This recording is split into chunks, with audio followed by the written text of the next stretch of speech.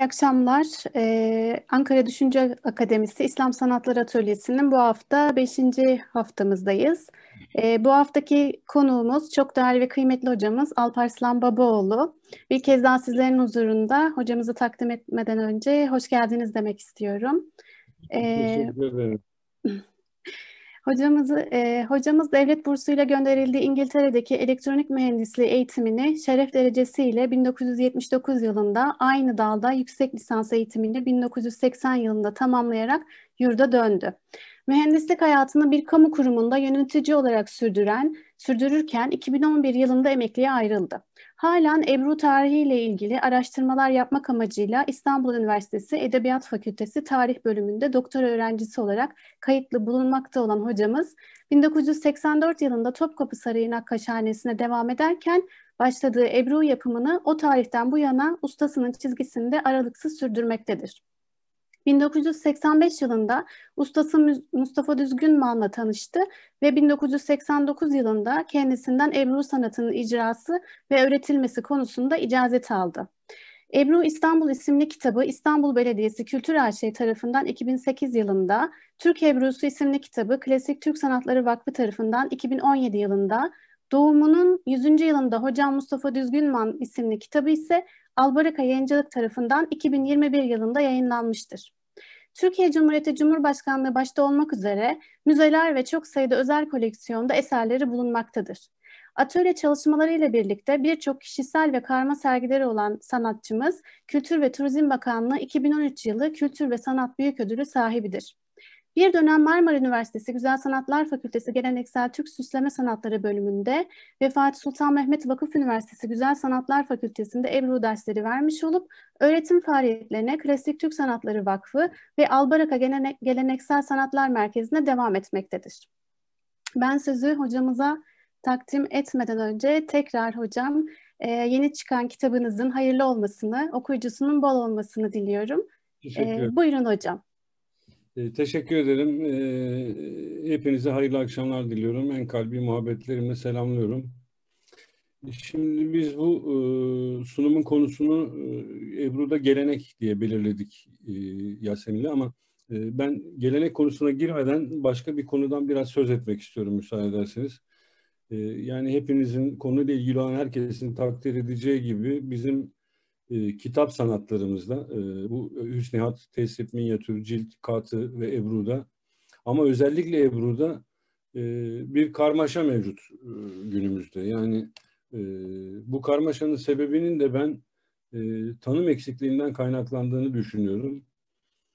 Bunun da sebebinin e, bizim sanatlarımız için e, yeterli argümanların oluşturulmaması ve tanımların yapılmaması nedeniyle Batı sanatları için e, oluşturulan argümanların ve tanımların bizim sanatlarımız için kullanması kullanılması olduğunu düşünüyorum. Yani şöyle açmaya çalışayım konuyu. E, Oscar Wilde demiş ki e, taklitle sanat olmaz. Ya da bir başkası demiş ki işte sanat özgürlükten beslenir. Böyle argümanları bizim sanatlarımıza uyguladığınız ve bizim sanatlarımızı böyle argümanlarla yargıladığınız zaman ortaya iki seçenek çıkıyor. Bir tanesi birincisi bizim sanatlarımızın hiçbirisi sanat değil, hepsi zanaat. İkincisi e, çünkü özgürlükten beslenmiyor. Bizim sanatlarımızda kurallar var. Kural, sanatta kural olmaz diyor Avrupalılar. Ama bizim sanatlarımızın hepsi kurallarla yapılıyor, icra ediliyor. E, ikinci seçenekte ya yani ortaya çıkacak ikinci durumda Batı argümanlarını kabul eden e, bu işlerle uğraşan insanların e, madem öyle sanatta kural olmaz ben kuralsız yapacağım Ebru'yu. Tesbi, minyatürü, hattı demeleri gibi bir sonuç ortaya çıkıyor. Diğer sanatlar için yani Ebru dışındaki sanatlar için bunu söylemek ve yapmak biraz zor olmakla birlikte bu Ebru için çok kolay. Çünkü boyayı suyun üzerine yüzürüp de kağıda tespit ettiğiniz zaman ben de öyle zannetmiştim. Ha Ebrucu oldum zannediyorsunuz. Madem Ebrucuyum ben de istediğim gibi yaparım. Madem sanatta özgürlükten besleniyor, kuralla sanat olmuyor. O zaman ben de bunu kuralsız yaparım gibi bir sonuç doğuyor. Bu da bizim geleneğimize, sanat geleneğimize, Ebru geleneğimize çok büyük zarar veriyor. Yani geleneğimiz dejenere oluyor. Ee, bugün Türkiye'de e, binlerce belki on binlerce insan Ebru ile uğraşıyor. Yani Ebru yapan insan çok. Bu iyi bir şey. Ebru'nun bilinirliği arttı ama e, bu insanların büyük bir çoğunluğu da bilinçsizce e, Ebru'da denemeler yapıyor. Biraz sonra göstermeye çalışacağım. Bu denemelerin sonucunda da Ebru yozlaşıyor diye düşünüyorum. Diyerek e, sunuma geçeyim şimdi buradan itibaren. Şimdi e, Profesör Selçuk Mülayim Hoca bir mülakatinde ki bunun referansını aşağıda verdim. Gelenekli sanatlarımızın içine düşürdüğü durum durumu e, e, çok isabetli bir şekilde şöyle özetliyor. Evet, bunu niye böyle oldu? Heh. Sanatlarda yozlaşma hatta yok olma sürecinin sebebi yeni ürünlere ışık tutacak tarihsel örneklerle olan ilişkilerin zayıflamasıdır. Buna kitlesel iç göçün şehirlerde oluşturduğu varoş kültürünü yanlış algılanan turizm olgusunu eklememiz gerekir. Bütün bu nedenlerle geleneği karmaşık ve hızlı bir devşirmeyle bilinçsizce yeni ürünlere taşımaya çalışan anlayış alabildiğine hiç karma karışık ve karikatür gibi ucuz işler üretmektedir. Üstelik bunu denetleyecek hiçbir kurum yoktur diyor Selçuk Mülayim Hoca. Ee, şimdi bunun yani bu realitenin e, sebebinin Ebru'nun içinde bulunduğu ve Ebru geleneğimizi tehdit eden en önemli etkinin bugün Ebru olarak isimlendirilen çalışmaların kategorize edilmemiş olmasından kaynaklandığını, kaynaklandığına inanıyorum ben. Ve e, biraz sonra bunları kategorize etmeye çalışacağım. İşte bu tam eksikliği nedeniyle yani herkes her yaptığını gelenekli Ebru diye isimlendiriyor. Ya da gelenekten yola çıktım, çağdaş yorum yaptım diyor insanlar. Bu Ebru'ya çok fena zarar veriyor. Bu riski bertaraf etmek için e, neyin Ebru olduğunu, neyin olmadığını ya da nasıl isimlendirilmesi gerektiğini e, ivedilikle açıklığa kavuşturması lazım bana göre. Şimdi yakın zamana kadar Ebru denince bir geleneğin ürünü olan ve o, o geleneğin doğrultusunda yapılmış olan aşağıdakiler anlaşılıyordu. Bunlar işte Özbekler Tekkesi Şeyhi Ethem Efendi'nin, Necmettin Okey'in, Mustafa Düzgünman'ın yaptıkları Ebru'lar. Bunlar bir geleneğin devamı. Şimdi e, bugün biraz sonra göstereceklerimin hepsi Ebru adı altında bir önceki sayfadakiler aynı kategoride değerlendiriliyor. Yani bunları şimdi tek tek getiriyorum sizin gözünüze ki görün dikkat edin. Yani toptan getirseydim dikkatinizden kaçacaktı. Ama böyle tek tek getirince her birisini görüyorsunuz. Bunları görmenizi istiyorum. Bunlar Ebru değil. Bunlara Ebru demek hakkına sahip değiliz. Bunlar başka bir kategoride işler. Yani bizim Ebru tanımlarımız, tanımımızın dışında yapılan işler. E, kimisi çok niteliksiz, kimisi de bambaşka tekniklerle yapılmış. Dolayısıyla bunları Ebru diye isimlendirdiğiniz zaman ortaya bir karmaşa çıkıyor. Şöyle çıkıyor, onu biraz daha e, veciz göstermeye çalışayım. Şimdi bunlar bizim Ebru dediğimiz şeyler. Bunlar Ebru ben ustamdan öyle gördüm. Bu, bu tanıma uyan e, eserler bunlar. Bir de bunlar var. Bunlar bugün yapılan şeyler.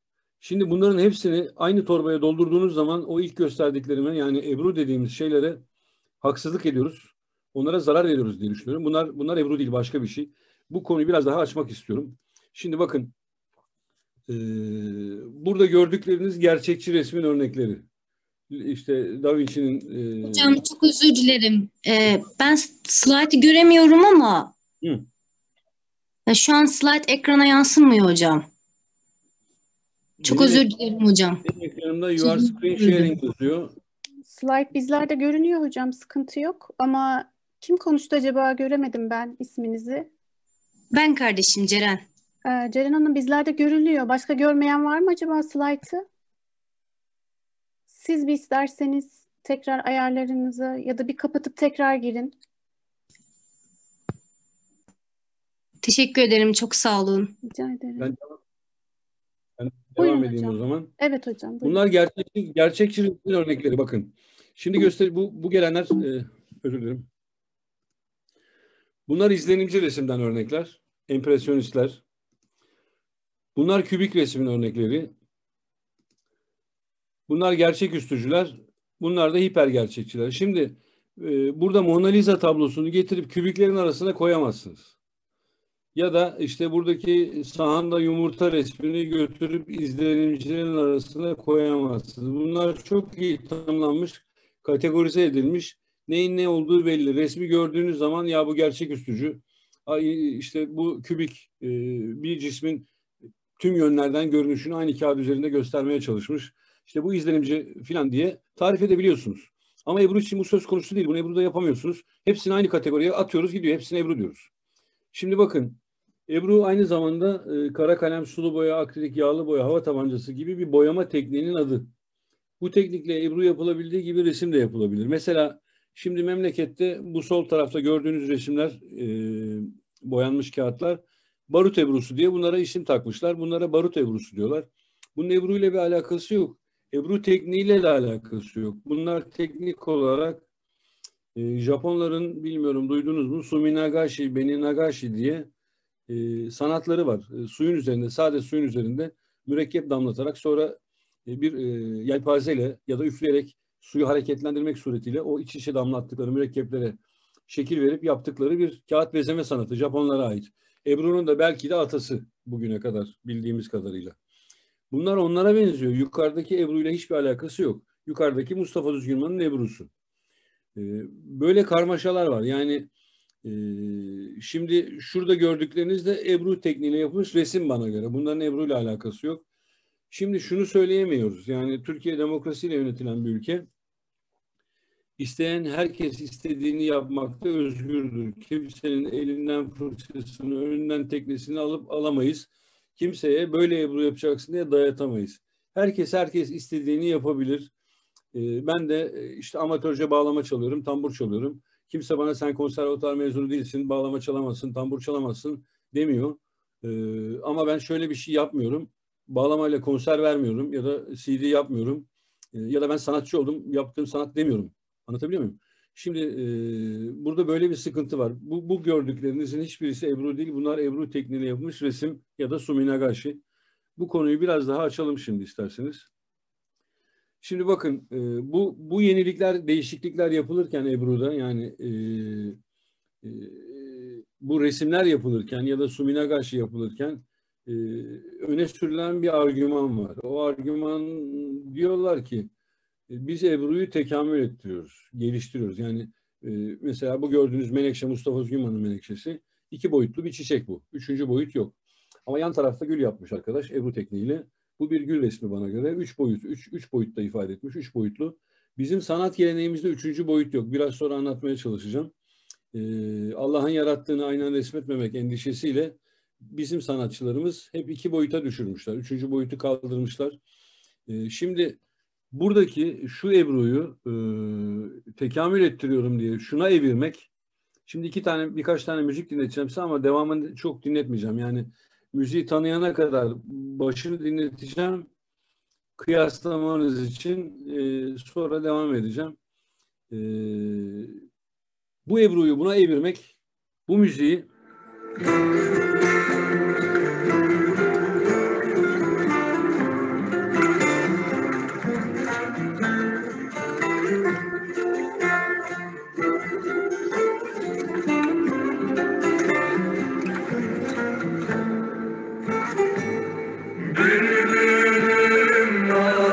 Evet bunu tanıdınız herhalde. Bülbülüm Altın Kafeste türküsü. Şimdi tekrar ediyorum bu Ebru'yu geliştiriyoruz, Ebru'ya e, yenilik katıyoruz diye bu Ebru'yu evirmek, bu müziği ya tek sesli müzik geri kaldı artık çok sesli hale getirelim deyip buna çevirmekten farksız. Bana göre.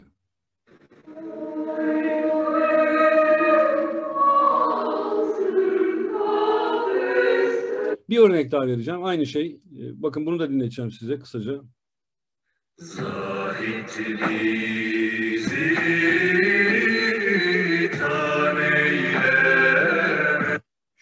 Yani bu tek sesli ya bu geri kaldı artık. Dünyada müzik çok sesli. Klasik batı müziği çok sesli. İşte teknik olarak geri bunu e, geliştirmemiz lazım deyip şuna gelmek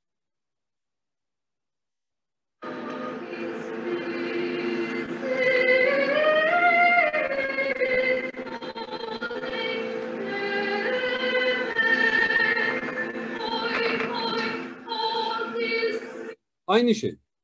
Yani e, bizim müziğimiz kötü mü? Yok hayır değil. Bizim müziğimiz çok güzel. Bu bizim müziğimiz. Bu sağda dinledikleriniz bize ait olmayan. Tamam bizim türkülerimizi almış Batı müziğine çevirmişler. Bize ait olmayan bir şey. Aynen yukarıdaki Menekşe ile Gül arasındaki ilişki gibi. Menekşe bizim çünkü iki boyutlu ama Gül bizim değil resim o. Gül resmi. Anlatabildim mi? Umarım e, meramımı ifade edebiliyorumdur. Şimdi bakın bir resim hocasını, ressamı e, ya da sanat tarihçisini çağırsak şu yukarıdaki ne desek akrilik tekniğiyle natürmort diyecek. Onun altındaki sulu boya tekniğiyle natürmort, onun altındaki yağlı boya tekniğiyle natürmort, onun altındaki hava tabancası tekniğiyle natürmort. Peki en altta gördüğünüzü siz ne diye isimlendirirsiniz bunlara bakarak? Yani bu gülün, en alttaki gülün şu en üstteki gülle hiçbir farkı yok bana göre. Yani görüntü itibariyle. Onun resmi. İşte bu da Ebru tekniğiyle, bu da natürmort. Ebru tekniğiyle Ebru değil. Bu Ebru tekniğiyle Ebru'ysa bunlar ne peki? Biz Ebru deyince bunları anlıyoruz. İşte Ebru tekniğiyle Ebru bana göre bunlar. Ebru deyince bunları anlamamız lazım. Böyle resimleri anlamamamız lazım. Şimdi yine ilerleyelim. Şimdi içinizden şöyle düşünenler olabilir. Arkadaş sen sen kendi yaptığın çiçekleri e, Ebru diyorsun, çiçekli Ebru diyorsun. Alemin yaptığı çiçeklere çamur atıyorsun. Onlar üç boyutlu, onlar Ebru değil diyorsun diye.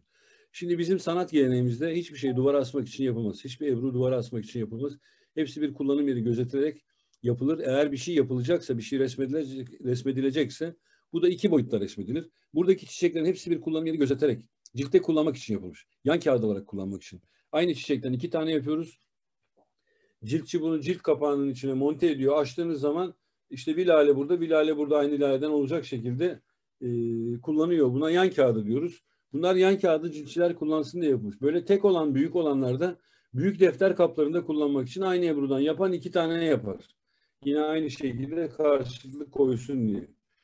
Dolayısıyla bunlara biz çiçekli Ebru diyoruz ama ötekiler çiçek resmi. Onu ayırt etmek lazım diye düşünüyorum. Şimdi Selçuk Mülayim Hoca ile devam edelim. Diyor ki İslam sanatçısı gözlemci değildir. Doğayı ve kendi vücudunu inceleyerek resim yapmaz. Anatomik çalışma sanatçının değil doğa bilimcinin işidir. Buna göre onun yaptığı figür bir resmetme düşüncesinin ürünü olmadığından pentür anlamında duvara asılmak üzere hiçbir zaman resim tasarlamamıştır. Yani bir kullanım yeri gözetilerek yapılan bir Ebru'yu çok beğenip duvara asmak başka bir şey. Benim evimde de var. Biraz evvel gösterdiklerimden çerçeveleyip evimin duvarına astım seyrediyorum. Duvara asmak için Ebru yapmak başka bir şey. Bu ikisinin ayırdığında olmak lazım.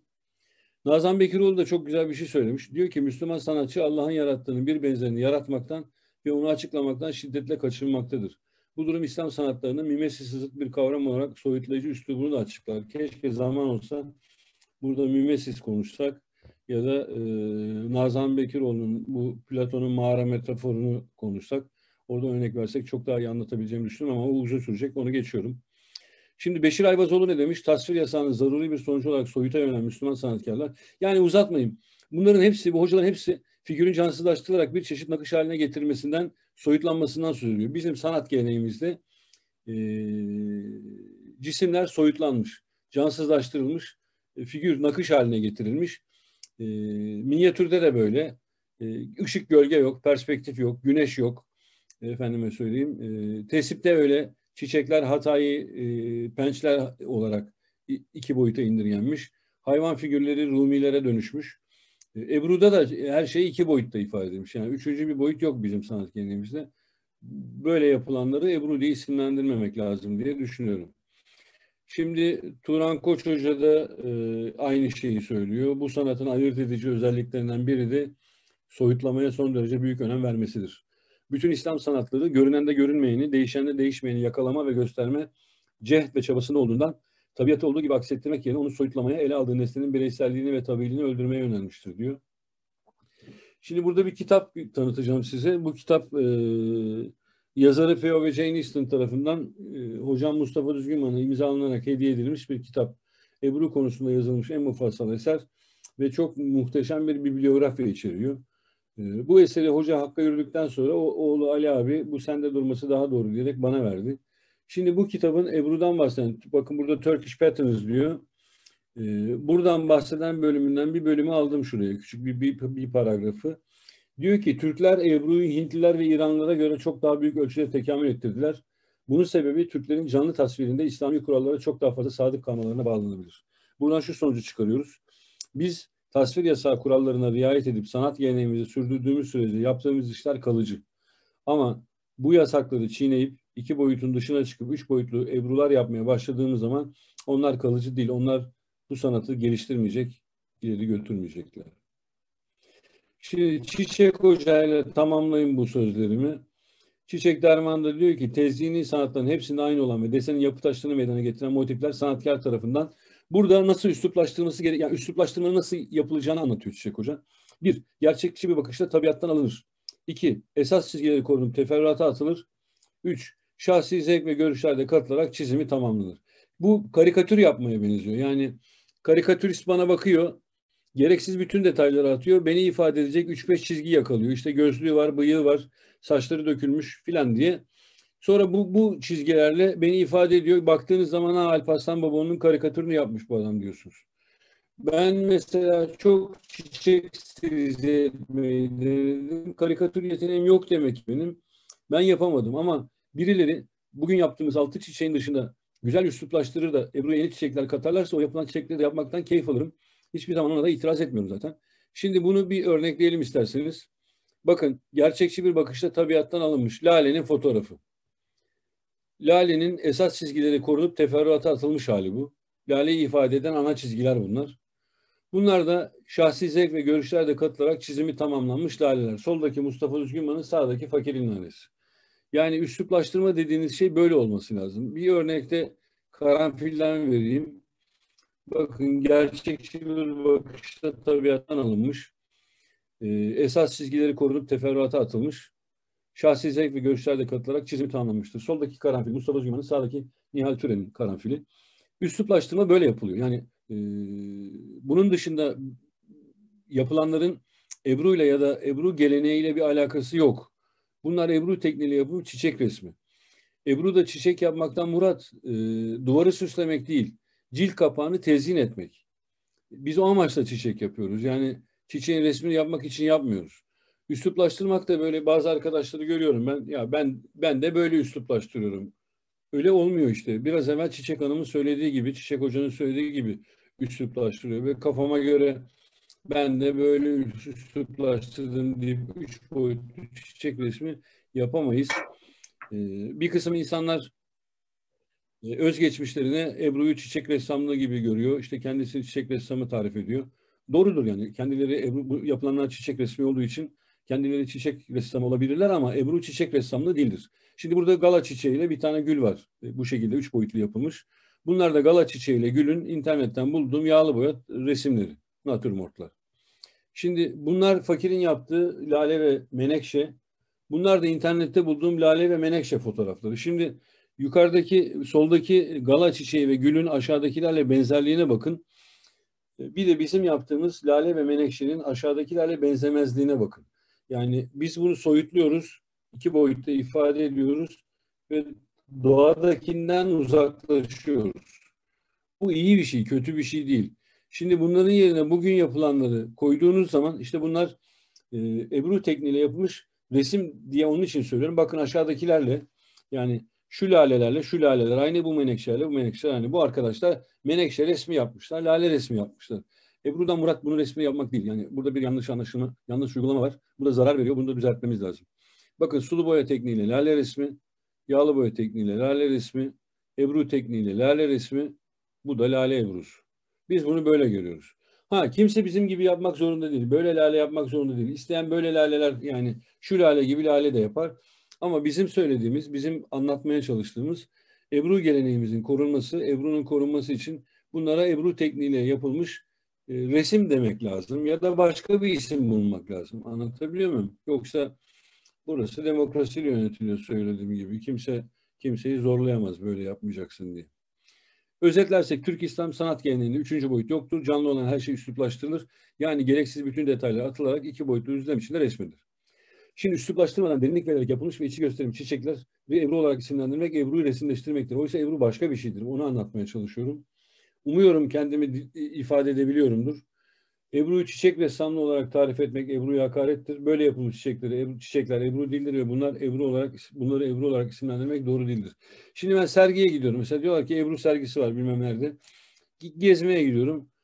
Bütün şeyler e, sergi salonunun duvarları burada gördüklerinizden dolu. Yani bir tane Battal Ebru, bir tane Hatif Ebru'su yok. Ya da varsa da bir iki tane çok kötü yani. Ama bu işle uğraşanlar bu Ebru tekniğiyle çiçek resmi yapmak konusunda üstad olmuşlar. Bunları çok başarılı yapıyorlar. Buna diyecek hiçbir şeyim yok. Ama e, bunlara Ebru demek doğru değil. Tekrar söylüyorum.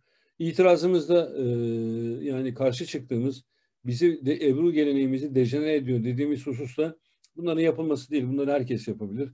Nasıl memlekette isteyen arabesk müzik yapıyor, isteyen taverna müziği, isteyen klasik Türk müziği, isteyen batı müziği yapıyor. Bunlar da yapılır.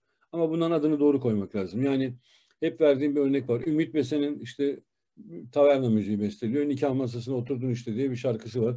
Onu getirip de Dede Efendi'nin, Zekai Dede'nin müziğinin yanına sokamazsınız. E burada da aynı durum var. Bunları götürüp Mustafa Özgünman'ın, Necmettin Okyay'ın, Ebru'larının yanına koyamazsınız. Onlar başka bir şey, bunlar başka bir şey. Umarım anlatabiliyorumdur. Şimdi Ebru'nun başka bir konu daha var. Ebru'nun aslı Ebri ve bunun da kelime manası bulut gibi. Mustafa Özgünman 20 kıtalık Ebru'name yazmış. Orada da bunu bir kıtada Ebru'nun e, buluta benzediğini bu şekilde ifade etmiş. Şimdi boyayı serpmek ya da damlatmak yerine dökerek yapılan işlerin Ebru ile alakası yoktur. Şimdi biz Ebru yaparken boyayı ya damlatıyoruz ya serpiyoruz. Bir de Ebru'yu bu, bu Ebru dedikleri şeyleri dökerek yapanlar var. İşte dökerek yapıldığı zaman bakın bunlar ortaya çıkıyor. Ee, bunlar Ebru'yu boyayı suyun üzerine dökerek yapmak suretiyle yapılan şeyler. Bunların yukarıdaki battal Ebru'yla en ufak bir alakası yok görüntü olarak. Teknik olarak yok zaten de. Yani görüntü olarak da Ebru'ya benzemiyor. Yapanlar da zaten bunları taşa benzetiyorlar. Bakın bir taşı almış işte yaptığı e, barut Ebru'sunun üzerine koymuş. Aynı taşa benziyor. Doğayı taklit ediyoruz biz filan diyor. Dolayısıyla bunlar buluta filan da benzemiyor. Bunlar Japonya'da yapılan Suminagachi'nin kötü taklitleri. Bunları Ebru diye isimlendirmemek lazım. Böyle bu yani bana göre soytarılık. E, gölün üzerinde Ebru yapacağım. Suyun üzerinde bunları boyaları dökerek yaptığı şeyler Ebru demek. Bunlar doğru değil yani. Şimdi burada bir video vardı. Bunu göstermeyeceğim. Çok uzun sürüyor. Bu Suminagashi'nin nasıl yapıldığını tarif ediyor. Bakın bunlar Japonya'da mürekkeple yapılmış Suminagashi'ler. Bunlar Türkiye'de boyayla yapılmış Suminagashi'ler. Bunlar da Türkiye'de yapılmış Ebru'lar. Bu boya Türkiye İstanbul'da boyayla yapılan Suminagashi'lerin e, bu sağ tarafta gösterdiğim battal Ebru'larla en ufak bir alakası yok gördüğünüz gibi. Yukarıdakilere benziyor. Dolayısıyla Bunlara barut ebrusu filan diye ebru diye isimlendirmek, ebru sınıfının içine sokmak doğru değil, yanlış. Bunlar başka bir şey, başka bir isim bulsunlar ama ebru demesinler. Zaten bu ile yapılan şeylerde, bu biraz önce gösterdiğim kitapta görebiliyor musunuz bilmiyorum. Japanese diye tarif ediliyor. Japon e, süslemesi yani. Dolayısıyla hülasa bunlara ebru demek doğru değil. Bizim itirazımız da bunlar yapılmasın değil. Bunları yapan yapar ama bunların adına ebru demek yanlış. Bunları ebru sınıfına sokarsak ebru bozuluyor, dejener oluyor. Şimdi bakın aynı kitaptan başka bir şey var. Bunu tercüme etmeyi unutmuşum. Şimdi tercüme etmeye çalışıyorum sizin için. Ee, 90 1970'lerdeki Ebru'daki patlama diyor. Ee, Ebru tasarımı uygulamalarda anormal bir şey yaptı. Çeşitlilik üretti. Bazıları çok ince ve gelenekselken bazıları e, inanılmaz bir şekildeydi. Yani e, Ebru'lu ürünler e, ince ciltlerden yatak çarşaflarına kırtasiye malzemelerinden e, formalara, duvar kağıdından tuvalet kağıdına kadar değişiyordu diyor. Bu kadın bunu böyle ifade ediyor. Şimdi peki memlekette durum ne? Memlekette de şöyle bir durum var Türkiye'de. İnsanlar diyorlar ki biz Ebru'yu gündelik hayata sokmamız lazım. Ebru'yu insanların tanıması için. Biz böyle yaparak Ebru'yu gündelik hayata sokuyoruz. Ebru'ya hizmet ediyoruz diyorlar. Bana göre bunlar tamamen ticari kaygılarla yapılmış. Gündelik hayata sokmakla bir alakası yok. Biraz sonra Ebru'nun gündelik hayata nasıl girmesi gerektiğini göstereceğim. E, bunların sanatla da bir alakası yok. Yani e, bunları da yine tek tek gösteriyorum ki bunlar Ebru değil. Yani bunlara Ebru demek yanlış. Başka bir isim bulsunlar bunlara. Ebru demesinler, bizim Ebru'muzu bozmasınlar. Yani adam ayakkabı boyamış. Birisi çok affedersiniz don yapmış. Birisi e, Lale Ebru'su ki Lale ebced hesabıyla Lafzai Celal'i temsil eder. Lale Ebru'sunu almış, evinin helasının duvarlarına yapıştırmış defi hacet ederken lale seyrediyor. Tavanını boyamış, perdesini boyamış. Yani Ebru'nun girmediği yer kalmamış. Bunları da Ebru'yu gündelik hayata sokuyoruz. Ebru'ya hizmet ediyoruz diye yapılıyor ama maalesef öyle değil. Ebru gündelik hayata böyle girer. Yani hepimizin evinde pervazında Ebru kullanılmış birkaç tane hüsniyat levha ya da e, kütüphanesinde cildinde Ebru kullanılmış birkaç tane kitap olduğu zaman Ebru gündelik hayata doğru yerden ve güzel bir şekilde girmiş demektir. Yoksa ayakkabı yaparak, perde yaparak girmez yani. Anlatabiliyor muyum? Ee, şimdi e, yine Ebru Türk kitap sanatlarından biridir ve bir kağıt bezeme sanatıdır. Bu nedenle böyle yapılan işler Ebru diye isimlendirilemez. Yani bunlar tamamen ticari olarak yapılmış. Yani bu bölümü özetleyecek olursak işte bizim sanat geleneğimizde çiçek üsluplaştırılır. Onun için bunlar çiçek e, Ebru sayılamaz. E, Ebru aynı zamanda bir resim tekniği, e, yani kağıt bezeme tekniği, kara kalem gibi, sulu boya gibi. Dolayısıyla böyle yapılan resimler Ebru tekniği yapılmış resimdir, Ebru değildir. Bunları karıştırmaması lazım. Boyayı dökerek yapılan işler Suminagashi'dir, Ebru değildir. Bir de böyle e, yani Ebru'yu tanıtıyoruz diye kağıt dışında malzemeleri Ebru almak yanlıştır. Bunlar tamamen ticaridir. Bunlar Ebru değildir. Ebru olmadıkları için Ebru'da yenilik de değildir. İşin kötü tarafı bunlar Ebru'ya yenilik gibi sokulmaya çalışıyor. Yani Ebru'da yenilik yaptık. İşte Ebru'da Ebru tekniğiyle resim yaptık. İşte bilmem gala çiçeği yaptık. Yok bilmem barut Ebru'su yaptık. Efendim seramiğe aldık filan diye. Ebru'da yenilik gibi. Bizim Ebru'nun yeniliğe bir ihtiyacı yok. Ebru kendi içinde yeniliyor zaten. Biraz sonra göreceğiz.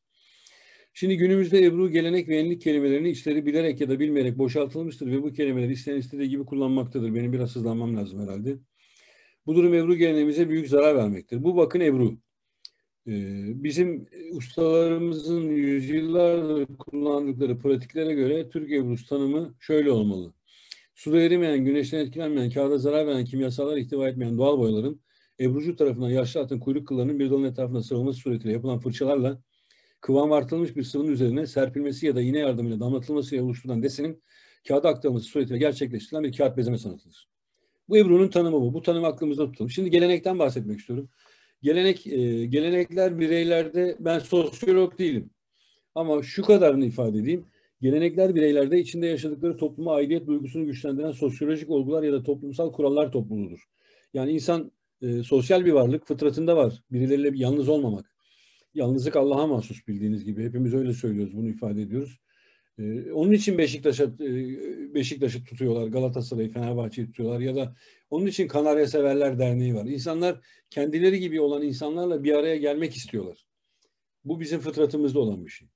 Şimdi bu gelenekleri yaşarsak o topluma ait olduğumuzu kendimiz de hissediyoruz. Onun için önemli. Hangi topluma aitsek o toplumun geleneklerini yaşamamız lazım. Yaşarız aslında. Bu geleneklerin nereden ve neden ortaya çıktıkları da açıkla bilinmiyor. Bilinemeyebilirdi. Mutlaka bir sebebinin ya da faydasının olması da gerekmez. Biraz sonra göstereceğim. Geleneklerin bulunduğu en büyük topluluk ümmet, en küçük topluluk ailedir. Bireyler hangi topluluğun geleneklerini yaşıyorlarsa kendilerini o toplumun bir ferdi olarak görürler. İçinde bulunduğu topluluğun geleneklerini yaşayan birey, gelenekçi bu gelenekleri reddeden birey ise modernist ya da reformist denir. Şimdi bakın bizim geleneklerimiz var. Bunlardan bir kısmını koydum buraya. Askere giden delikanlılara kına yakarlar. Kurban edilecek koşa kına yakarlar. Evlenecek gelin kıza kına yakarlar. Yani bu kına kanı temsil eder. Bu çocuk askere gidiyor annesi der ki şehit ol da öyle gel. Yani e, e, böyle bir ulvi duyguyla oğlunu askere gönderir anne. Bunu temsilen de kına yakar. Ölünün arkasından helva dağıtıyoruz. Yani e, helva dağıtmasak da muhallebi dağıtsak ne olur? Ya da sütlaç dağıtsak? Yok. Herkes helva dağıtıyor. Bu gelenek olmuş artık. Yani e, bunu değiştiremiyoruz. Diş kirası diye bir geleneğimiz var. Eskiden vardı, şimdi kayboldu. Ramazan'da iftarda iftara çağırırsınız misafirleri. İftardan bit yani iftardan sonra herkes evine giderken e, onlara tesbih ya da yüzük gibi böyle e, kıymetli bir şeyi hediye olarak verirsiniz. Buna diş kirası derler. Sebebi de benim yemeğimi yedin, yerken dişlerin eskidi, onun bedeli olarak lütfen bunu kabul et diye bir hediye verirler. Böyle bir geleneğimiz vardı, kayboldu. Mesela bu çiçeklerin anlamı var. Evin penceresinde sarı çiçek konmuşsa bu evde hasta var, sessiz geç. Kırmızı çiçek konmuşsa bu evde evlenmemiş bekar kız var, edebinle geç, bağırıp çağırma, küfretme anlamına geliyor. Ya da zimem defteri geleneğimiz vardı mesela. Bayram geldiği zaman mahallenin zengini bakkala ya da kasaba gider. Bu çıkar borç defterini der. Bir sayfa ortadan, bir sayfa baştan, bir sayfa sonundan yırttırır. Yekününü aldırır. Kaç para tuttu? 8500. Al arkadaş 8500 lira der. O üç kişinin borcunu öder. Bakkal da onları yırtar atar. Ee, ne borcu ödenen, kimin borcunu borcunu kimin ödediğini bilir. Ne borcu ödeyen kimin borcunu ödediğini bilir. Böyle güzel bir adetimiz vardı, geleneğimiz vardı. Kayboldu burada. Yine farklı kapı tokma e, geleneğimiz vardı. Anadolu'da işte kadınlar için ayrı, erkekler için ayrı. Bunun hep sebebi malum yani. Benim anneannemin rahmetli Çorum'daki evinde de vardı böyle. E, kapı çaldığı zaman Erkek çaldıysa kapıyı, evde erkek varsa erkek açar. Erkek yoksa kadın örtünüp açar. E, kadın tokmağı çalındıysa sesi değişiktir çünkü. Evde kadın varsa kapıyı kadın açar. E, ve örtülmezse gerek yoktur çünkü gelen kadın diye. Ve bu da kayboldu. Şimdi mesela bir Ebru dışında bir sanattan örnek vereyim. Hüsniyatta gelenekler var. En önemlisi usta çırak olarak ve meşk usulüyle öğretim. Kendi kendine hattat olmuş kimse yok. Yani e, bütün hattatlar bir ustadan öğrenmiş. E, Mustakimzade'nin e, şeyi var. E, pardon ya. Tufe-i Hattatin. Burada hepsinin silsilesi yazıyor. Bütün hattatlar silsilesi. Bir icazet geleneği var. Hattat e, yazdığı yazıya imza atmaya başlama, başlayacak hale geldiğinde ustası icazet veriyor. Artık imzalayabilirsin diye. Şimdi başka enteresan bir şey var. Hattatlar yazı meşkine Rabbi Esir duasıyla başlıyor. Yani ben hat öğrenmeye gittiğim zaman hoca bana hadi bakalım Elif B'den başlatmıyor. Hurufat meşkinden başlatmıyor. Önce bir Rabbi Esir ve la Rabbi temin bil hayır veriyor. Al bunu yaz diyor. Onu kendi yazdığı gibi, hocasının yazdığı gibi yazıyorsunuz. Bu haftalar sürüyor, belki aylar sürüyor. Ne zaman hoca gibi yazarsınız ondan sonra Urufat Meşkine başlıyor. Şimdi buna Rabbiyesiyle başlamak çok mantıklı. Rabbim kolaylaştır, güçleştirme, hayırla tamamlattır. E, bu işe başlamak için de uygun bir dua. Ama hiçbir hattatın aklına şöyle bir şey gelmiyor. Ya arkadaş biz e, Müslüman Türk toplumu olarak bugüne kadar bütün ne işe başladıysak hep besmele ile başladık. Ben artık e, talebelerimi yazıya başlatırken vereceğim bir sülüs besmele, onu yazsınlar. Besmele ile başlatacağım demiyor. Bu geleneği devam ettiriyor insanlar. Yani de, geleneklerle oynanmıyor. Bir şekilde o ortaya çıkmış bu gelenek ve böyle devam ediyor. Mesela yeni başlayan talebeler kamışlarını, yazıya başlayacakları kamışlarını götürüyorlar Karacaahmet kabristanında. Şehit Hamdullah'ın kabrine böyle sokuyorlar bir cuma günü. Bir sonraki cuma günü gidiyorlar onu çıkartıyorlar. Hocalarına kamışı açtırıyorlar ve o kamışla yazmaya başlıyorlar. Yani bunun hiçbir mantıklı açıklaması yok. Oraya soktuğu zaman şey Hamdullah'ın yetenekleri o kamıştan bu işte hat adayına, e, hattat adayına geçiyor diye bir şey yok. Ama bu bir gelenek, e, itikat meselesi böyle yapılıyor. Mesela hattatlar açtıkları kalemlerin yongalarını saklamazlar. Niye biliyor musunuz? E, öldüklerinde cenazelerini yıkamak için e, ısıtılacak suyun ateşine bu yongalar atılsın. Onlar orada şefaat edecekler. Bu adam bizimle bizi açarak yani bu kamışlarla e, Allah kelamı yazdı, Allah'ın ismini yazdı diye şehadet ederler diye açtıkları kamışların yongalarını atmaz biriktirirler. Şimdi bugün hiçbir gasilhanede böyle bir şey kalmadı. Doğal gazla ısıtıyorlar suyu. Herkesi e, doğal gazla gazetediyorlar. Doğal gazla ısıtılmış suyla gazetediyorlar. Ama hiçbir hattat bu açtığı kalemlerin yongasını biriktirmekten imtina etmiyor. Hala biriktiriyor. Hattatlar yine is mürekkebiyle yazıyorlar. Tabii malzemelerle renklendirilmiş kağıt ve e, kamış kullanıyorlar vesaire. Hat sanatında böyle gelenekler var. Şimdi özetlersek gelenekler kötü şeyler değil. Bizi biz yapan şeyler gelenekler. Bunları yaşatmamız ve korumamız lazım. Gelenekler bizi millet yapan kültürümüzün önemli bir parçası. Geleneklerini yaşamak bireyleri bu toplumun bir parçası yapıyor. Bir insan hem geleneklerine bağlı hem de reformist olamaz. Bir de öyle bir şey var yani. Hem yenilikler yapıyorlar hem de ben geleneklerine bağlı bir yenilikçiyim diyor insan. Öyle bir şey yok. Ya gelenekçisinizdir ya yenilikçisinizdir. Gelenekçiliğin tersi modernizm ya da reformizmdir. Şimdi geleneklerin nasıl ve ne zaman ortaya çıktıkları bilinemiyorsa da sanatlarımızda e, geleneklerin aşağıdaki gibi ortaya çıktıkları söylenebilir. Sanatını daha önce yapılamadığı kadar mükemmel bir biçimde icra eden ustalar tekniğini ve estetiğini azmettikleri sanatlarının uygulamada karşılaştıkları varsa eksiklerini veya zorluklarını giderecek, sanatı daha ileriye taşıyacak, moral değerlerini yükseltecek, yenilik veya değişiklikleri bulur, uygular, bunları çıraktan üretir ve onları takip eden ustalar içinde bunlar artık gelenek haline gelir. Yani sanatlarımızda geleneklerin ortaya böyle çıktığını, böyle ortaya çıktığını düşünüyorum ben. Şimdi Ebru'da gelenekler nedir, nasıl ortaya çıktı? Başka ülkelerin Ebrucularının uygulamadıkları, bilmedikleri ya da kullanmadıkları, sadece Türk Ebrucularına has özellikler de Türk Ebru geleneğini meydana getirir. Şimdi bakın bunun en temeli usta çırak münasebeti. Çünkü geleneğimizin bütün hususiyetleri ustadan çırağa meşk usulüyle geçer. Meşk bizim bütün sanatlarımızın temel öğretim metodudur. Yani hüsnat da böyledir, tesit de böyledir, musiki de böyledir. Dolayısıyla Hüdayi Nabit ya da oto, ya da otodidakt Ebrucu olmaz. Yani ben kendi kendime öğrendim Ebru'yu. Böyle bir şey yok. Kendi kendine öğrenemez insan. E, nitekim kendi kendine öğrendiğini söyleyenlerin yaptıkları işleri görürüz. Hiçbirisinin Ebru'yla alakası yok. Şimdi bakın birkaç tane örnek vereyim. Çok söylemeyeceğim. Mahmut Erol Kılıç Hoca demiş ki talebe sanatkar sanatını meşk ederken hocasının elinden alır bu talimi. Hocasına da hocasından geçer. E, Zeki Kuşoğlu Hoca Gelenekten Gelecek Köprü İnsanlar kitabında Mustafa Özgüman'la bir röportaj yayınlamıştı. O röportajda da Mustafa Hoca diyor ki Ebru yapmak isteyen bir insan evvela bir usta bulacak. Onunla usta çırak olarak çalışacak. Bunun çıraklık devresi uzun sürer. Şimdi buradaki en önemli eleştiri diyor ki insanlar arkadaş siz meşk ediyorsunuz. Ustalarınızın Ebru'larını taklit ediyorsunuz. Ondan sonra hiçbir gelişme olmuyor. Sizin yaptığınız taklit, taklitte de sanat olmaz. Kusura bakmayın. Sizin yaptığınız sanat, sanat değil diyorlar. Bakın burada bir şey göstereceğim. Bunun üzerinde biraz konuşmak istiyorum. Vaktimi dolduruyorum ama. Şimdi e, burada altı tane lale Ebru'su var. En soldaki lale Necmettin Okyay'ın 1950 senesinde yaptığı lale. Onun hemen yanında aynı sene Mustafa Düzgünman'ın o laleyi takliden yaptığı lalenin resmini görüyorsunuz. Bakın aynı. 1985 senesine gelindiğinde soldaki lale e, Mustafa Düzgünman'ın fakire ilk tanıştığımızda hediye ettiği lale. Bakın 50'de yaptığı lale ile en ufak bir alakası yok. Yanında benim onu takliden yaptığım lale var. Aynısı. Hocaya götürmüştüm bunu. Dedi ki aynı sonuç. Ben altına imza atsam kimse fark etmez demişti. Bakın o benim hocayı takliden yaptığım lale de onunkinin aynısı. 2015'e geldiğinizde mavi beyaz lale benim yaptığım lale. Benim bu lalemin 85'teki laleyle hiçbir alakası yok. Onun yanında da Uğur Taşatan'ın benim lalemi takliden yaptığı lale. Buradan şuraya gelmek istiyorum. Ben ustamın lalelerini taklit ederek başladım.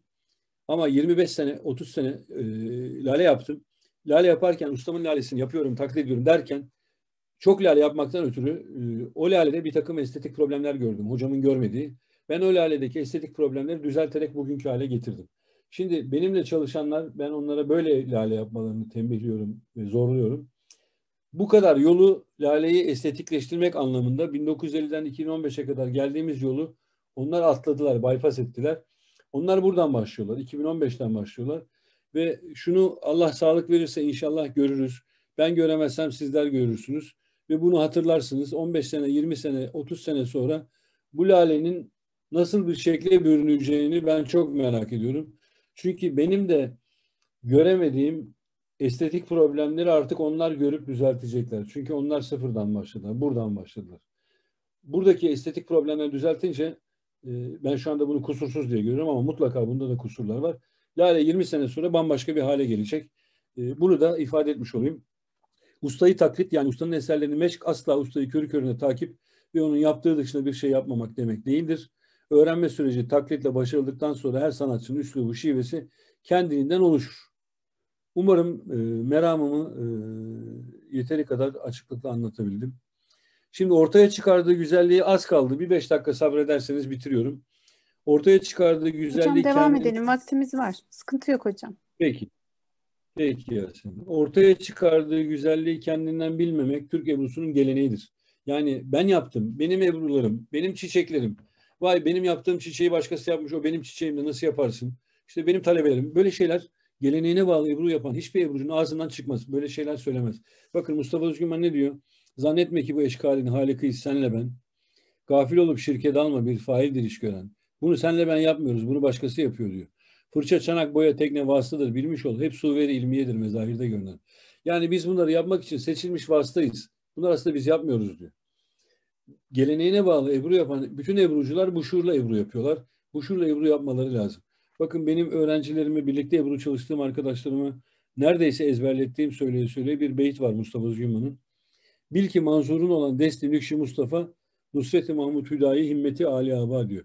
Yani elinden çıkar, çıkan nakışlar senin elinden çıkmadı Mustafa. Bunlar Ali Aba'nın himmeti e, Hazreti Hüdayi'nin de yardımı olmasaydı sen bunları yapamazdın diyor. Yani o tamamen Mustafa Özgünman ben bu Ebru'daki güzellikleri ortaya çıkarmak için seçilmiş vasıtayım diyor. O şuurla Ebru yapıyor. Nitekim e, kendi kaleminden özgeçmişi ben de bu kitaba koydum. Kendi kaleminden özgeçmişinin son paragrafında diyor ki beni tanıyanlar usta diyorlar. Tasavvuf terbiyem kendini beğenmişliğe müsait değildir. Ben hala Necmettin Okyay hocamın çırağıyım böylece malum ola. Yani tevazuyu görüyor musunuz? Yaşı gelmiş 65'e hocası öleli 9 sene olmuş Zaten 5 sene sonra da Hakk'a yürüdü. O yaşta diyor ki ben usta usta değilim ben Necmettin hocamın çırağıyım. Bana usta demeyin diyor. Böyle de bir tevazu sahibi. İşte e, geleneğine bağlı Ebru yapanlar için Bu önemli bir esastır ve bu ancak ustadan çırağa tevarüs eder. Yani kendi kendine insan böyle e, bu şuura ulaşmaz. Bunu ustasından görerek ulaşır. Anlatabiliyor muyum? Şimdi Türkiye Bursa'da yapılan tasvirlerin çiçeklerin diğer sanatlarımız olduğu gibi üçüncü boyut içermemesi yani stilize edilmesi gerekiyordu. Bunu söylemiştim. Bir daha söylememe gerek yok. Ee, bizim Ebru'da doğal boya kullanmamız lazım. Yani seramik boyası, yağlı boya, guaj boya, akrilik boyayla yapılan Ebru'ları Ebru sınıfına sokmamız lazım. Böyle topraktan yapılmış boyalar kullanmamız lazım. Neden? Bakın burada bilmiyorum görebiliyor musunuz? Sol tarafta Necmettin Okey'in bir hatif Ebru'su var. Yürekli hatif. Kağıdın tersi de sağ tarafta gözüküyor.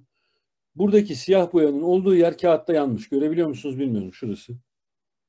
Burası yanmış bakın. Kağıt yanmaya başlamış.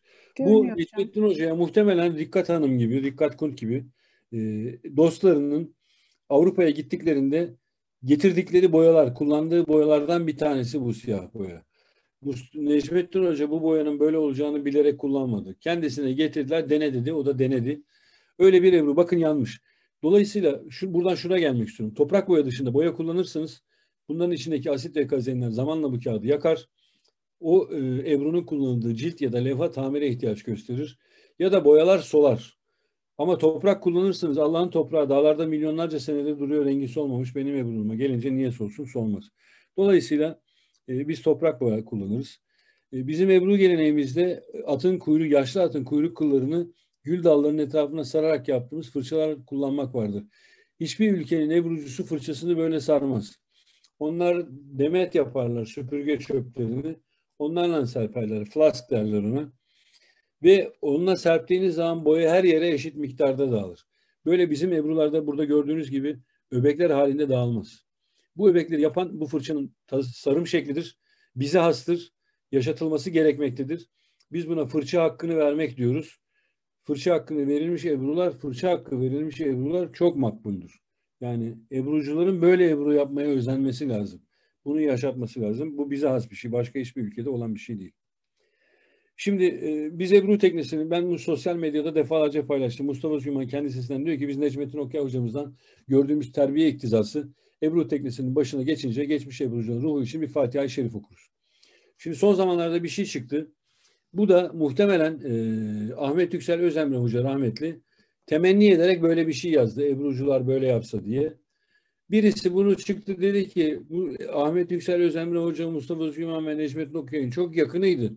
Onu söyle, söylediğine göre onlar Ebru teknesine oturmadan önce bir boy abdesti alır sonra da şu duayı okurlardı diye bir sayfalık bir dua icat ettiler. Bunu da böyle söylüyorlar. Şimdi Böyle bir şeyin aslı yok. Yani biz, biz böyle dua etmeyiz. Biz Mustafa Düzgünman hocamızdan gördüğümüz gibi sadece geçmiş Ebru'cuların ruhu için bir Fatiha-i Şerif okuruz. Ee, yani bu doğru olsaydı eğer boy abdesti alıp da ondan sonra böyle bir dua okumak Ebru yapılan her yerin yanına bir de hamam yapmak gerekirdi. Yani gelene önce gir bir boy abdesti al sonra da Ebru yaptı. Bunun aslı astarı yok. Ee, böyle şeylere itibar etmeyin diye bunu da söylemiş olayım. Şimdi Türk sanat geleneğinde sanatın icrasıyla kazanılan zekatı o sanatı öğrendiği gibi bila bedel öğretmekle öğren, ödenir. Bu nedenle atölyesi, nedenle atölyesinde kabul ettiği talep eden herhangi bir ücret veya hediye almamak Türk Ebru geleneğinin bir gereğidir. Necmettin Okyay, İsmail Hakkı Altunbezer gibi akademide ya da benzer bir öğretim kurumunda ders vermek bunun dışındadır. Burada söz edilen şahsi atölyedir. Ben şahsi atölyeme kabul ettiğim öğrenciden ücret alamam. Hediye de kabul edemem. Anlatabildim mi? Şimdi bunu alırsam ne olur biliyor musunuz? Öğrencinin bırakıp gitmesi ihtimaline karşılık eleştiride acımasız olamazsınız. Yani sonuçta 10 tane öğrenciniz var. Onlardan işte atıyorum ayda 300 lira alıyorsunuz, 3000 lirayla geçiniyorsunuz. E bir tanesi giderse geçim kaynağınız gidecek. Dolayısıyla onun ebrularına karşı e, tenkitte acımasız olamazsınız. Ve onun gönlünü hoş tutmaya çalışırsınız. Bu da Ebru'nun dejen olmasına sebep olur. Doğrudan uzaklaşmak anlamına gelir. Bakın burada yazıyor e, Necmettin Hoca'nın talebe oluş hikayesi. E, özür dilerim. Uğur Derman Hoca'nın Necmettin Okuya'ya talebe oluş hikayesi.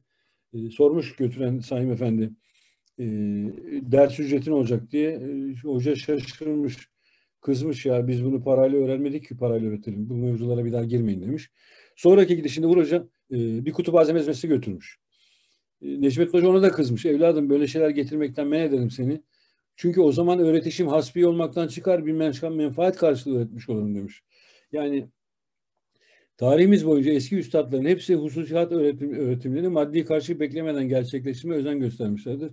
Bu tabii hat için Uğur Hoca'nın söylediği aynı şey Ebru için de geçerli. Ben Mustafa Hoca'ya Ebru öğrenmeye gittiğim zaman ayda şu kadar para vereceksin demedi bana. Ben e, atölyeme misafir kabul ediyorum. Her pazar saat 10 ile 12 arası bu pazar sen de gel dedi. Öyle başladım. Öyle de devam ettik. Şimdi çok hızlı devam ediyorum. Bunların Ebru olmayacağını e, söylemiştim. Niye e, bu icazet bahsinde bundan bahsediyorum?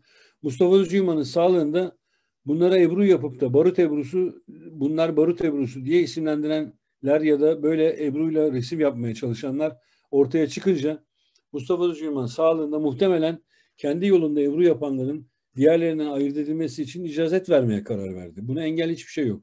Yakın zamanda akademik bir yayında ben şunu gördüm. Mustafa Düzgünman'ın Ebru icazeti yoktu. Dolayısıyla verdiği icazetin hükmü yok diye. E, bu doğru olsaydı Hamit Hoca'nın verdiği icazetlerin de hiçbir hükmü yoktu. Çünkü Hamit Hoca'nın da icazeti yok. Hocası var ama icazeti yok.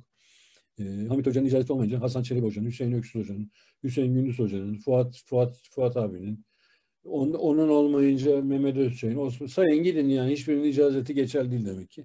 Böyle bir argüman da geçerli değil. E, bu hocanın kendi el yazısıyla yazdığı icazet metni. Bana bunu verirken dedi ki bundan sonra da Ebrucuların icazet metni bu olsun. Dolayısıyla benim için bu ustamın vasiyetidir. Ben talebelerimi yani birlikte Ebru çalıştığım arkadaşlara icazet vereceğim zaman bu metni yazdırıyorum, e, imzalıyorum. Onlardan da buna riayet etmeni istiyorum. Bu da bizim Ebru geleneğimizdir. Yani daha evveli olmasa bile artık gelenek haline geldi. Daha önce söylediğim gibi e, ustası bir şey yaptı, talebesi de bunu tekrarlarsa bu artık gelenek haline geliyor. Son olarak bizim sanatlarımızın geleneğinde dolayısıyla Ebru'da da ustaya tam teslimiyet esastır bir geleneğimizin önemli bir parçasıdır. Bu şu demek. Ustanın yaptıkları sorgulanmaz, söyledikleri sorgulanmaz. Yani ya hoca ona niye icazet verdi, buna vermedi diye bir şey düşünmek bizim sanat geleneğimizde yoktur. Hocadır vardır bir bildiği, vardır bir hikmeti.